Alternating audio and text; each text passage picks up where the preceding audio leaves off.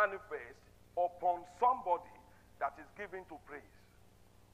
Now, in second, there is an, uh, uh, an occasion in Second Chronicles, chapter 5, verses 13 to 14, when Solomon finished building the temple and he was bringing in the ark of God. And he had this thing happen there. Let's pick it up from verse 13. Second Chronicles. And indeed, it came to pass. And that is how it's going to come to pass in your life. When the trumpeters and the singers were as one, to make one sound to be heard, in praising and thanking the Lord. And when they lifted up their voice with the trumpet and the cymbal and instrument of music, and they praised the Lord, saying, For he is good, for his mercy endures forever. That the house, the house, is a house.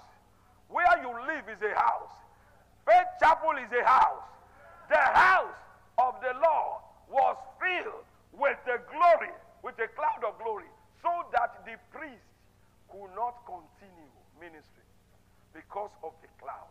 For the glory, the glory, the splendor, the majesty of God filled the house of God. On the altar of praise and rejoicing before Him. Remember Psalm 22, verse 3. God lives in the praises of His people. Now, they took Silas and Paul and subjected them to an impossible situation. Put them in the dungeon, whoop them. There was no way for them to get out of jail. They didn't commit any crime.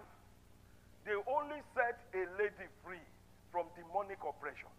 But the Bible said instead of complaining and murmuring, Lord, why is this happening to us? Where is your face? What did my father do?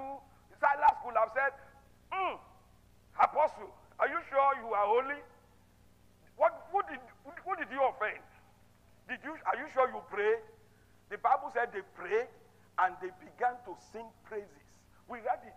The lady that led prayer today was in the spirit. And the Bible says suddenly there was an earthquake. Now, please tell me, in all my 50 something years, I, I have heard about earthquake. So many earthquakes I've had, especially uh, California and other places. There has never been a record of earthquake happening and chains in people's hand dropping off. Only on that occasion. So, what is the correlation between earthquake that didn't happen in the city, happened in the jail, and their chains drop off, the doors open? That is why I know that as you take your eyes off from what is not working and put it on what is working, whatever is limiting your advancement, they are going to break off the remaining two and a half months of this year in the name of Jesus.